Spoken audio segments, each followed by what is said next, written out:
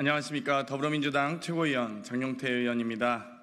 어, 지난 어, 대선 전에 혁신위원장을 맡았고 또 최고위원이 되어서 정치혁신위원장을 맡으면서 논의했고 또 작년에 최고위에 보고했던 내용과 더불어 총선 과정에서 있었던 여러 가지 어, 이 부족한 부분들을 보완하기 위한 당원당규 개정 TF 단장을 맡아서 어, 그동안 여러 차례 회의를 거치면서 이 당원당규 보완 사안에 대해서 논의해 왔습니다. 오늘 최고위에 보고를 드렸고 그 결과를 국민과 당원께 보고 드리고자 합니다. TF에서는 당원권 강화를 위한 당원당규 규정을 개정하고 총선 과정에서 확인된 불명료, 불합리, 비현실적인 규정들을 중심으로 정비하고 향후 정치 변동성을 대비하고 또 불필요한 당원당규 규정을 정비하는 등 총 20여 개의 당원당규 개정안을 마련했습니다. 먼저 당원권 강화를 위한 개정안부터 말씀드리겠습니다. 첫째, 당원당규상 전국 대의원대의 명칭을 전국 당원대회로 일괄 개정하는 안입니다. 둘째, 당헌 25조 1항에서 규정하는 대의원 권리당원 반영 비율의 20대 1 미만 제한 규정을 시도당 위원장 선출 방법에도 동일하게 적용하는 안입니다.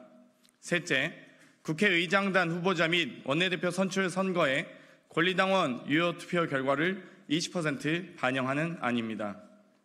넷째, 당원 중심 정당을 위해 중앙당 전담 부서에 당원 주권국을 설치하고 자발적인 당원 활동에 관한 업무 일체를 전담하는 안입니다.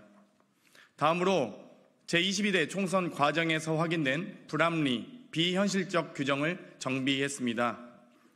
첫째, 경선 후보가 3인 이상일 경우 선호 투표 또는 결선 투표 실시를 의무화하는 안입니다. 이를 위해 선호 투표 실시 방법과 결선 투표 실시 방법을 구체적으로 명문화했습니다. 둘째, 검증인을 예비후보자 자격심사위로 위상을 변화하는 안입니다. 적격, 부적격 판정은 공관위로 일원화하고 검증인은 예비 후보자 등록에 관한 자격 심사만 맡도록 했습니다. 셋째, 부적격 심사 기준에 당의 결정 및 당론을 위반한 자에 대한 규정을 현실화하고 구체화하고 부적격 심사 기준에 징계 경력 보이자 규정을 보완하는 등 부적격 심사 기준 관련해 미비 규정을 보완하였습니다. 넷째, 공천 심사 또는 경선 진행 중에 허위 사실 발견 시에 후보자 자격 박탈 조항을 명문하여 후보자 제출 서류 의무를 강화하고 감산 기준일을 당의 선거일로 통일하고 심사 및 경선 관련 가감산 조항을 개정, 신설하는 등 공천 과정에서 확인된 미비한 규정을 정비했습니다. 마지막으로 향후 정치 변동성을 대비하고 불필요한 당원 당규 규정을 정비하였습니다.